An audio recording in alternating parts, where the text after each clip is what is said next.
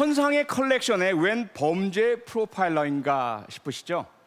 오늘 아주 요상하고 미스터리한 사건의 의뢰 때문에 제가 이 자리에 섰습니다.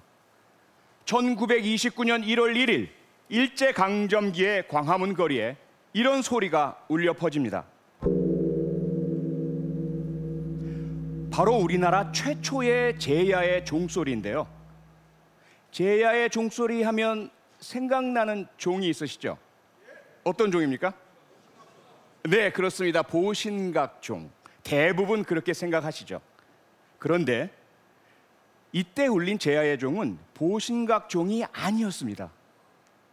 조선 총독부가 보물로 지정하고 광복 이후에도 그 가치를 인정받아서 대한민국 국보 제367호로 지정되었던 종 바로 용문산 상원사 범종입니다.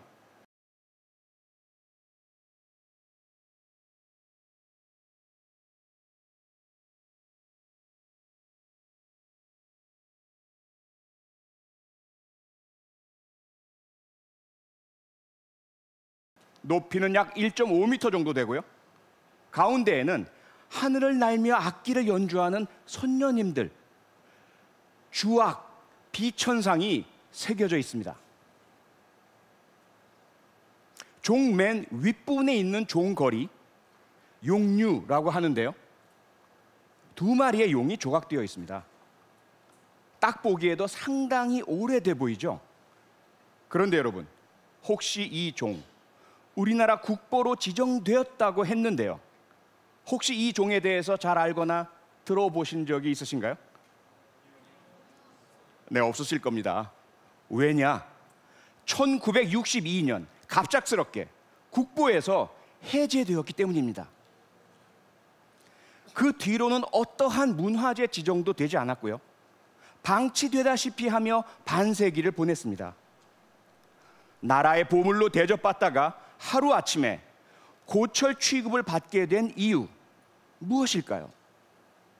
바로 이 종이요. 일제시대 때 만들어서 바꿔치기한 가짜 범종이라는 주장이 제기되었기 때문입니다. 국보인 줄 알았던 보물이 가짜로 판명되어서 국보에서 해제되었다. 그냥 그런 단순한 결론이었다면 별 문제가 아니었을 텐데요.